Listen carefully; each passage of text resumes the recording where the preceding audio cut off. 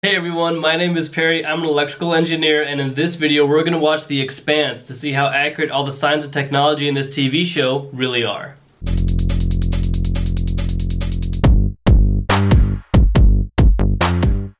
We use its might to wrest control of Ceres from Earth, and Earth will go to war to take it back.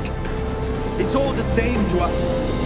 No matter that artificial blue light that they were projecting on the ceiling is actually it's a small detail, but it is very, very important. And I'm wondering if they actually will like have like a curfew or something, and like that eventually becomes like darkness to symbolize that the sun is setting, and then it like and like if they like actually simulate all the different colors of light, because the way that light reacts with humans is very, very important. And specifically, blue light is actually what's used to wake us up in the morning. Like if you shine blue light on somebody, they're gonna be more awake, more alert, and more aware. If you're trying to sleep, avoid any and all blue light because that's what's actually telling your body to wake up.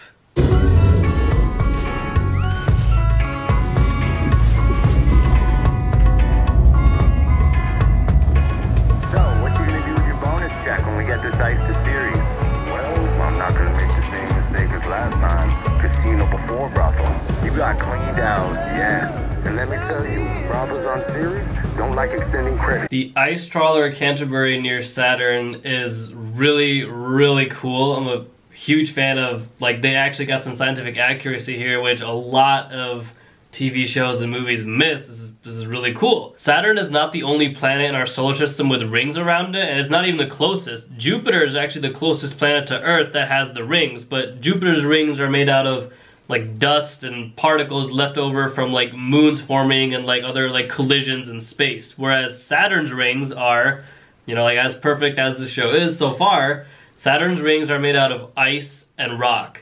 So it would make a lot of sense that there's an ice trawler near Saturn because that's where you can harvest a lot of water in the form of ice. To give you an idea of how far away Saturn is from Earth, NASA in 1997 released a spacecraft Cassini that didn't reach Saturn until 2004. It took seven years for that spacecraft to leave the surface of the Earth and get to Saturn. I'm sorry the gravity of a real planet hurts, but it's appropriate. You wish to hurt Earth. The earth that is now crushing your weak belter lungs and your fragile belter bones. All you have to do to make it stop is talk. This is, in fact, very accurate with regards to how gravity would impact somebody when they're returning from outer space to the surface of the Earth. When astronauts return from the International Space Station, it takes about four to six months for them to get back to, you know, use the gravity of Earth. In fact, when they return, they can claim that it's hard to even move their tongue in their own mouth, and they can feel the weight of their teeth. The acceleration of gravity on Earth is 9.81 meters per second squared, and the acceleration of gravity on the moon is 1.62 meters per second squared. And that's about a six times difference, which means on the Earth, you're actually feeling six times more the force of gravity than you would be on the moon. Now, this poor guy comes from like, you know, deep outer space, so his is actually even greater than a six times difference. Like, what that means for like a way to think about it, if somebody weighs 50 kilograms or 110 pounds, like just from Earth's moon, and they come back to the surface of the Earth, then that same person is gonna feel like they weigh 300 kilograms or 660 pounds. So you can imagine like it's really, really hard to recover after all that time in space where your spine gets stretched out and there's really no force of gravity acting on you 24 7 just pulling you towards the center of the earth. Like that's why astronauts also when they come back, they're actually slightly taller because their spines aren't as compressed.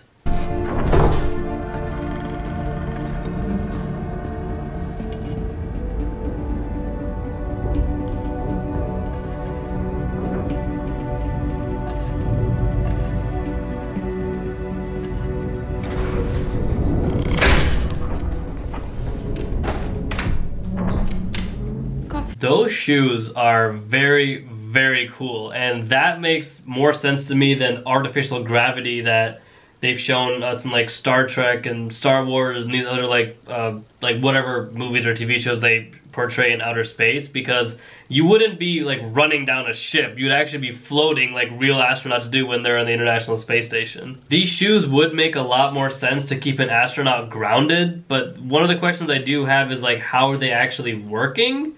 Because I don't believe that it's like magnetized because if it was, why weren't the shoes sticking to any of the surfaces while they were like going up through that like tunnel?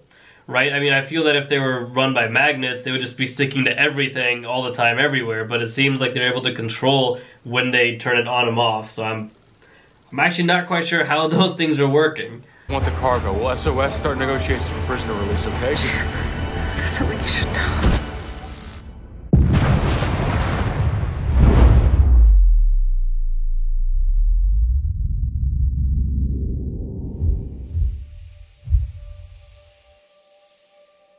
The show was doing really well when it comes to like you know realistic sci-fi but ah why do they do that?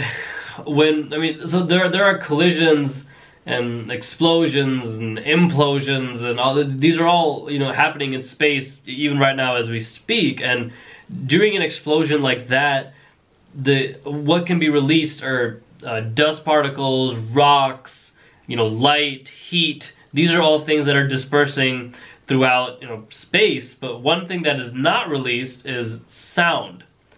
If this explosion was to really happen, you would not hear anything because there's no medium for sound to travel through while it's in space. Since space is a vacuum, sound doesn't have any medium that it can bounce off of and eventually reach somebody's ears so that they actually hear what's they're what they're seeing essentially, right? Like you'll be able to see the explosion and you'll see the light and the ship fragments and everything kind of disperse around you, but there wouldn't be any sound that reaches. Like for example, sound um, like sound travels much farther and it's much louder, like it's rather more in higher intensity in water than it is in air because water has a lot more particles for sound to like go off of. That's why if you hear like whales going back and forth, whales can, can communicate over miles and miles. But try talking to your friend who's one mile away. Even if you're screaming, it's really hard for them to hear what you're saying. Guess what? The Gold Life is now an affiliate partner of NordVPN. Information is a huge commodity nowadays. Companies want to know where you live, where your car is parked, what you eat, where you work, where you work out, the passwords you have, the websites you're on. Your personal information is being bought and sold by these giant tech companies without your permission. Protect yourself at all times on up to six devices using NordVPN. I have it on my laptop and my phone. That way, whenever I go connect to a public Wi-Fi anywhere, I don't have to worry about a thing. Another cool deal is that you get to connect to other countries and get access to their Netflix movies and TV shows, giving you a whole new array of entertainment so you can binge even harder. Use my link in the description down below to get 68% off a two-year plan of NordVPN with a 30-day money-back guarantee. Thank you guys so much for watching. I hope you enjoyed the video. And if you want me to react to more episodes of The Expanse, let me know in the comments down below. Or if you want me to see any other movie, TV show, or anime, let me know about those as well. Thank you all so much for watching. Stay fresh and stay golden.